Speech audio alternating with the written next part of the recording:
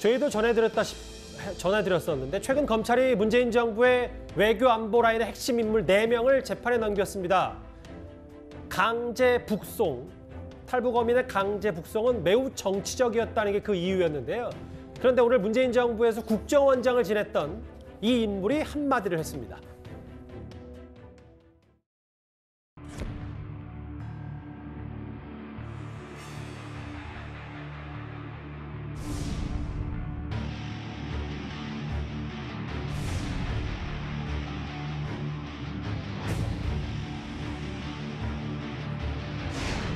문재인 정부의 외교 안보 라인이 후속 상태에 있고 기소가 됐습니다. 더 원통한 것은요. 도대체 문재인 정부에서 함께 일한 측근으로 일한 사람들이 말 한마디 못하고 있는 거예요. 나는 문재인 대통령께서도 한 말씀 해주셔야 된다 이렇게 생각합니다. 만약에 노무현 대통령 같으면 이대로 계셨겠습니까?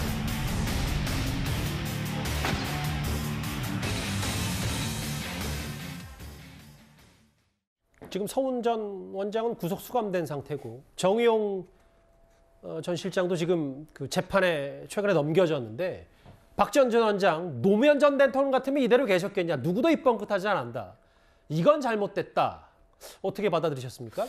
얼마 전에 문재인 전 대통령이 양산에서 감자 씻는 장면을 아마 인스타그램에 올린 게 뭐 꽤 화제가 됐었습니다.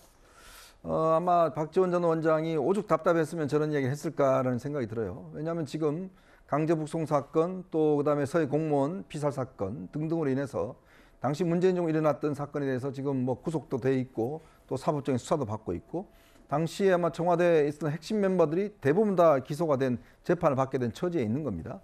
근데 결국은 이거 지금 본인들이 다 진술은 본인들 선에서 했다라고 이야기는 하지만 그러나 결국은 최종 책임자인 이제 문재인 전 대통령의 어떤 역할과 이런 문제가 있지 않겠습니까?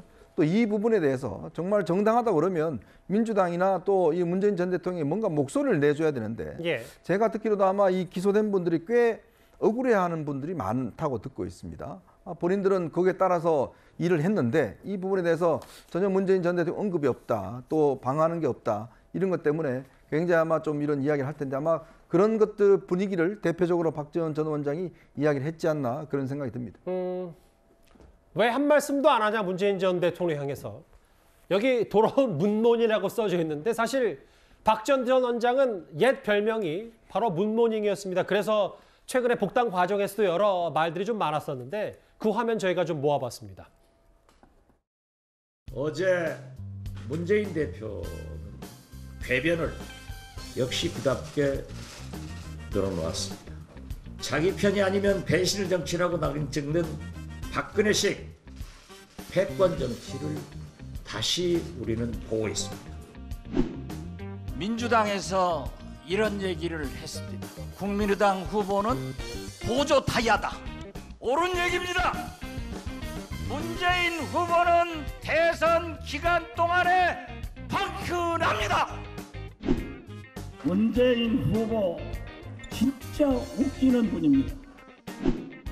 문재인 선대위는 댓글 부대, 문자 폭탄을 만들어내는 양념 공장이고 문재인은 양념 공장 사장임이 밝혀졌습니다.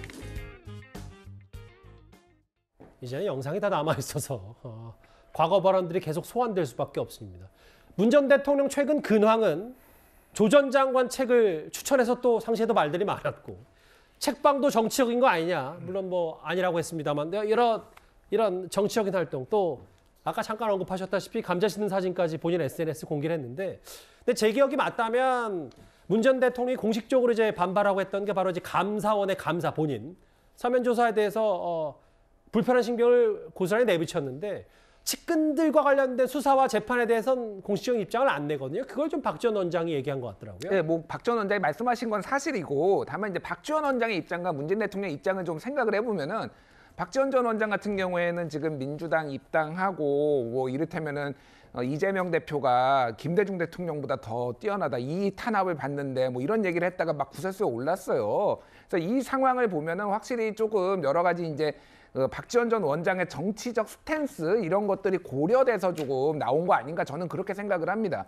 그렇게 보고 문재인 대통령 같은 경우에는 숨만 쉬어도 뭐 여기서 나와요. 뭐 책 여기서 나와지만은 뭐 책방 내면은 여기서 뭐, 뭐, 어, 뭐 모임방 해가지고 정치적 제기하려는 거 아니냐. 그러니까 무슨 행동만 해도 나오니까 굉장히 조심스럽게 스스로 이제 어, 할 수밖에 없는 그런 상황이 아닌가 그렇고 하고 사실 서해 피격하고 강제 북송 이 두 개가 다른 사건이긴 하지만 거의 동시에 수사가 이루어졌고 섞여 있었거든요. 그래서 그때 이제 내가 최종 승인했다 도를 넘지 말라라고 한 게 이거를 같이 입장을 낸 게 아닌가 저는 그렇게 보고 있습니다. 그래서 이 뭐 수사는 또 저는 문제가 많다고 보지만 뭐 그거는 얘기하지 않겠고 그런 부분은 이제 결국 재판에서 좀 다뤄줘야 되지 않을까. 그리고 만약에 문재인 대통령이 여기서 입장을 내면은 굉장히 이제 진영 간 다툼, 이제 정치 싸움으로 또 변질되지 않을까라는 우려도 문재인 대통령이 하시는 거 아닌가 그렇게 보여집니다. 제가 김준일 에디터께 지난번에도 비슷한 반박을 들었던 것 같은데 문 전 대통령이 숨만 쉬어도 비판받는다. 근데 뭐 다른 건 몰라도 풍산계 논란 같은 경우는 또 여러 뒷말들이 좀 있었으니까